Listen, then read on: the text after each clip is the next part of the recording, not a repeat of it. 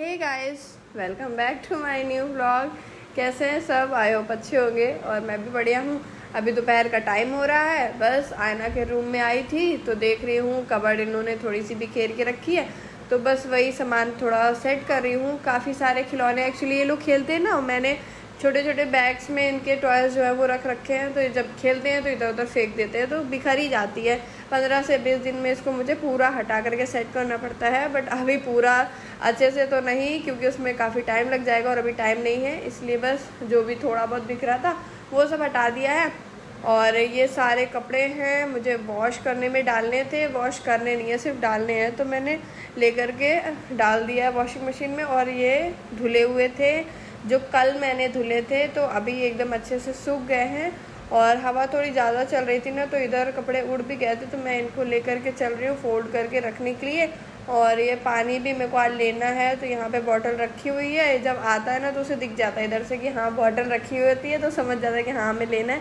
तो रुक जाता है, बॉटल नहीं रखते हैं ना तो फिर वो चला जाता है, फिर प्रॉब्लम भी हो जाती है पानी का, क्योंकि कई बार पीछे तरफ़ रहो ना तो आवाज़ नहीं सुनाई देती है।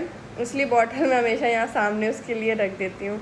तो बस कपड़े जो है वो सारे मैंने उठा लिए हैं। अभी मैं यहीं पे आज फोल्ड करने वाली हूँ रूम में नहीं करने वाली हूँ, क्योंकि मैं काफ़ी देर से घर के अंदर ही घुसी हुई हूँ तो मेरे को अच्छा भी लग रहा था, धूप भी नहीं है। मैंने कहा, चलो यहीं पे ही खड़े खड़े फोल्ड कर लेते हैं और उसके बाद सारे कपड़े जो है ना, वो एक साथ ही किसी चेयर को लेकर के चली जाती हूँ तो बाद में सेट कर दूँगी। और अभी बाकी के काम मेरे जो हैं वो घर के सारे हो चुके हैं, खाना वगैरह भी सब बन गया है। रोटी बनानी है मुझे बच्चों के लिए तो वो मैं अभी थोड़ी देर में बनाऊँगी। पहले मैं ये सारे कपड़े जो है वो फोल्ड करके रख देती हूँ।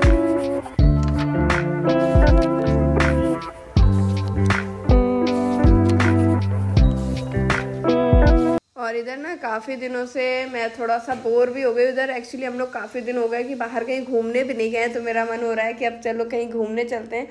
तो प्लान तो बना रहे हैं, लेकिन देखते हैं कब टाइम मिल पाता है, क्योंकि सैटरडे संडे को इनको छुट्टी मिलती है कभी कभी तो सैटरडे को नहीं मिलती, सिर्फ़ संडे एक ही दिन रहता है, और उस दिन इनको लगता है कि हाँ थोड़ा रेस्ट कर लेते हैं, आराम कर लेते हैं, और काफ़ी दिन गए मेरे को तो याद भी नहीं है कि लास्ट हम लोग कब घूमने गए हैं, बिल्कुल भी याद नहीं है, बस यहीं मथुरा, वृंदावन के ही चक्कर लगाते रहते हैं, ज़्यादा दूर जैसे आउट ऑफ़ स्टेशन या हिल स्टेशन ऐसा कुछ गए नहीं है तो प्लान तो कर रहे हैं। और देखते हैं कहाँ जाना है, क्या करना है। एक्चुअली होता क्या है ना, जब सेम रूटीन चल रहा होता है घर में तो फिर बोर हो जाता है। फिर लगता है कि यार थोड़ा सा दो, तीन दिन का भी चेंज हो जाए ना तो मूड फ्रेश हो जाता है। तो अभी खैर कहाँ है, अब देखते हैं। अभी फ़िलहाल तो अपने काम जो है वो निपटा लूँ।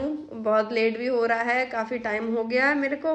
और कपड़े बहुत ज़्यादा थे यहाँ पे बेडशीट वगैरह थी, यहाँ रूम में भी एक्चुअली रखा था, वो भी मैंने फोल्ड किया तो आप देख सकते हैं चेयर पूरी जो फुल हो गई है, कितने सारे कपड़े हैं और तीन चार लेयर जो है वो यहाँ पे लगी हुई हैं कपड़ों की तो मैं सारे एक साथ लेकर के रूम में ही आ गई हूँ। अब इसमें क्या बच्चों की ड्रेस भी है हस्बैंड के मेरे हैं, बच्चों के घर के कपड़े हैं, बहुत सारे कपड़े हैं तो अब पहले तो मुझे यहाँ पे सेट करना पड़ेगा, कुछ दिन पहले ही मैंने हस्बैंड के जो कपड़ है वो सेट किया, वरना यहाँ पे तो बिल्कुल उनके कपड़े रखने की जगह ही नहीं समझ में आती थी कि मैं कपड़े रखूँ तो रखूँ कहाँ पे। अभी थोड़े दिन पहले सेट है, वैसे सारी अलमारी सेट हैं यहाँ पे बट आपको ऐसा लग रहा होगा कि बिक्री है बीच की बट नहीं बिक्री नहीं है। हैं सारी सेट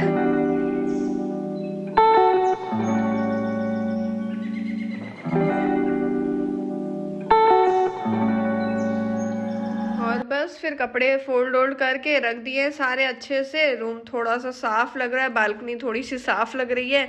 फिर यहाँ पे मैं देख रही हूँ, यहाँ पे स्लीपर्स वगैरह सामने पड़ी हैं और अभी ना मैंने आयना का जो है होम ट्यूशन लगवा दिया है। अभी पंद्रह दिन भी नहीं हुए होंगे। तो वही मैम आने वाली थी, मैंने कहा बच्चों को कि ये स्लीपर्स हटा दो। तो कह रही, नहीं मम्मा, मैं जल्दी से होमवर्क कर लेती हूँ, वरना मैम मुझे डांटेंगे। तो मैंने कहा, चलो ठीक है भाई, रहने दो, हम ही रख देंगे। तो मैंने स्लीपर्स जो है वो सारी यहाँ से हटा दी हैं। और अब मैं किचन में आ गई हूँ तो मैं बच्चों के लिए रोटी बना रही हूँ। अभी थोड़ी देर हुई है, ज़्यादा टाइम नहीं हुआ, बच्चे थोड़ी देर पहले ही आए हैं स्कूल से तो मैंने उन्हें मिल्क दिया था। अब मैं यहाँ पे उनके लिए रोटी बना दे रही। हूँ बाकी खाना जो है वो मेरा आप सभी को पता है सुबह सुबह ही बन जाता है। बस वही सैटरडे संडे अगर है तो थोड़ा सा लेट हो जाती हूँ। क्योंकि मैं लेट थोड़ा सा लेट उठती हूँ कभी कभी तो लेट नहीं उसी टाइम पर उठती हूँ, लेकिन फिर भी लेट हो जाता है। पता नहीं संडे में टाइम मेरा कैसे चला जाता है, मुझे बिल्कुल भी नहीं पता चलता। और वैसे वर्किंग डे जब इन लोगों का रहेगा तब मेरे को टाइम मतलब ऐसा लगता है ना कि सुबह से मतलब सारे काम मेरे मोस्टली हो जाते हैं सुबह। तो फिर मेरे पास बहुत टाइम लगता है कि मेरे पास पूरी दोपहर का मैं फ्री रहती हूँ क्योंकि हस्बैंड गया दस बजे, उसके बाद पूरा घर खाली। अभी तो खैर भाई है घर में तो लगता है हाँ कोई है, वरना तो फिर मैं अकेले आराम से अपने सारे काम निपटाती रहती हूँ। और हो भी जाते हैं सुबह सुबह ही, दिन भर मैं फ्री रहती हूँ, अपना फ़ोन का जो भी काम रहता है, वो सब मैं कर लेती हूँ। तो अभी तो क्या है कि अभी बस रोटियाँ ही बनानी है, खाना बन गया तो मैं फटाफट से रोटियाँ बना दे रही हूँ बच्चों के लिए और अपने लिए भी। मैंने भी अभी खाना नहीं खाया है, मैं बस वेट कर दूँगी जब बच्चे खाएँगे ना तो उन्हीं के साथ मैं भी खा लूँगी। तो सही रहता, अकेले मेरे को मुँह मन ही नहीं करता है खाना खाने का। और फ़ोन में एडिटिंग करते रहो तो बिल्कुल भूख भी नहीं लगती है। मेरे को लगता है मैं अपना जो काम है वो पहले ख़त्म कर लूँ, उसके बाद फिर मैं खा लूँगी। बच्चों के साथ रहता है तो बच्चों के साथ आराम से खा लेते हैं। तो यहाँ पे मैं दो थाली लगा ले रही हूँ अपने लिए और आयना के लिए। सभी भी आ जाइए हमारे साथ खाना खाने के लिए। मैंने बनाई थी दाल, चावल और रोटी। सब्ज़ी आज नहीं बनाई थी और बस हमने खाना खा लिया है। तो टेबल जो है वो मैं साफ़ कर दे रही हूँ क्योंकि मैम आने वाली है। फिर ऐसे पड़ा रहेगा अच्छा भी नहीं लगता है। तो इसलिए मैंने जो है वो साफ़ कर दी है। और वैसे भी खाना खाने के बाद टेबल को साफ़ भी कर देना चाहिए। और मैं ना अब रूम में बिल्कुल एकदम से बंद कर दी हूँ खाना। खाना, क्योंकि आप लोग पहले ना बहुत कमेंट करते थे कि बेड में खाना खाते हो, क्यों, क्योंकि बच्चे नहीं मानते थे।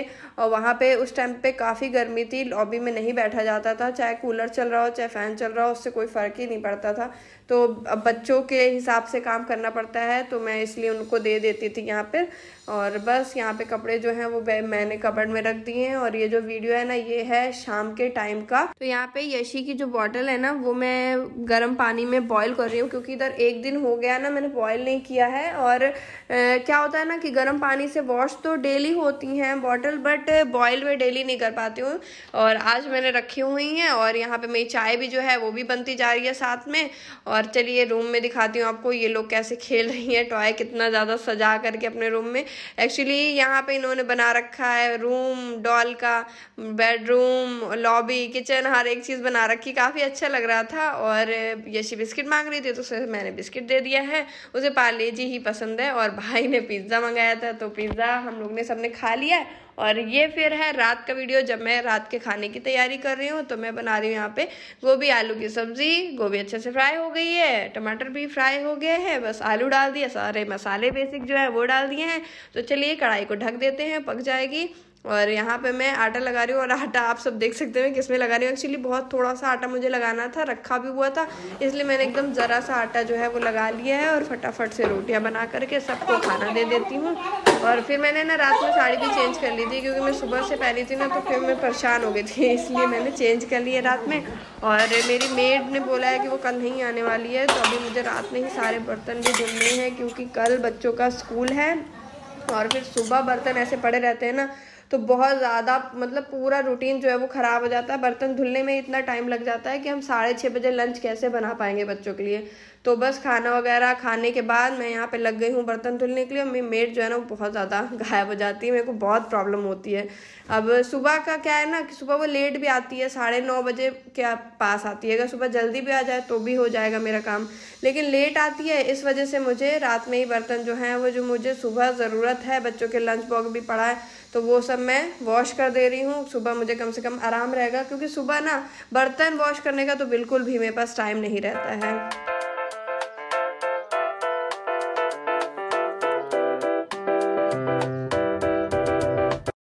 और ये वीडियो तो मैंने बहुत फास्ट करके रखा है, लेकिन मेरे को ना बर्तन धुलने में काफ़ी ज़्यादा टाइम लग गया था। एक से डेढ़ घंटे लग गए हैं पूरे बर्तन को धुलने में।